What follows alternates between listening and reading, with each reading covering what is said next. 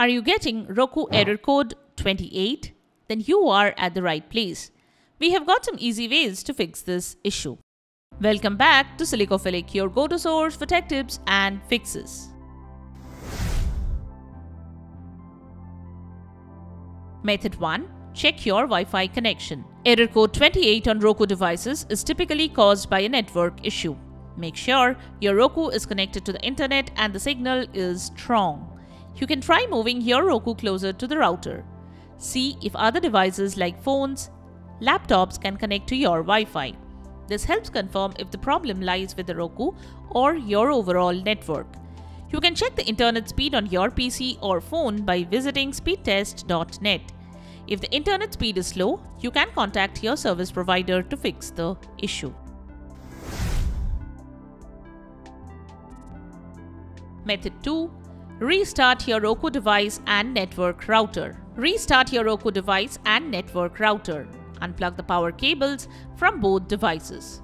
Wait at least a few minutes.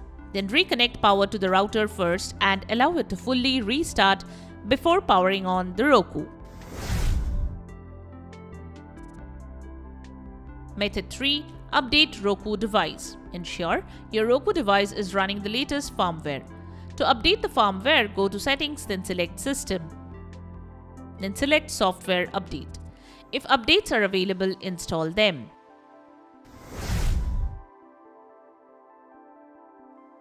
Method 4. Uninstall and reinstall the Roku channel. Uninstall and reinstall the Roku channel or app that is giving the error. This can help resolve issues caused by a bug in the app. Here are the steps to reinstall a channel on Roku. Perform a system restart on your Roku device before reinstalling the channel. Go to the Roku home screen. Use the arrow buttons to find the channel you want to uninstall. Here, we are taking this channel for example. Press the star key on your remote to open the channel options menu. Select remove channel and confirm the removal. Restart your Roku device to ensure the changes take effect. Now go to the Roku home screen. Select streaming channels from the left side bar. Search for the channel and select the channel and click on add channel. If prompted, enter your PIN or confirm the installation. Click OK to confirm. If the channel requires login credentials, you may need to sign back in after reinstalling.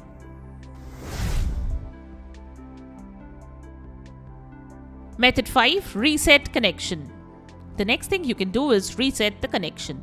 For this, go to Roku settings from the home screen, then navigate to System. Next, select Advanced System Settings. Select Network Connection Reset. Then select Reset Connection. Wait till the process is complete and Roku restarts. Method 6. Clear your cache and data.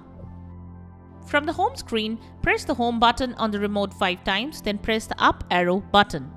Now press the rewind button twice and then press the fast forward button 2 times.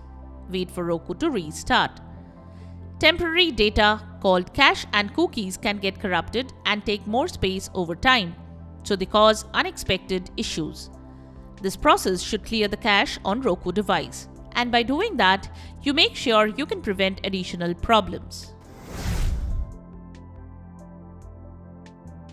Method 7. Factory Reset You can also perform a factory reset on your Roku device by pressing and holding the reset button for 10 to 15 seconds.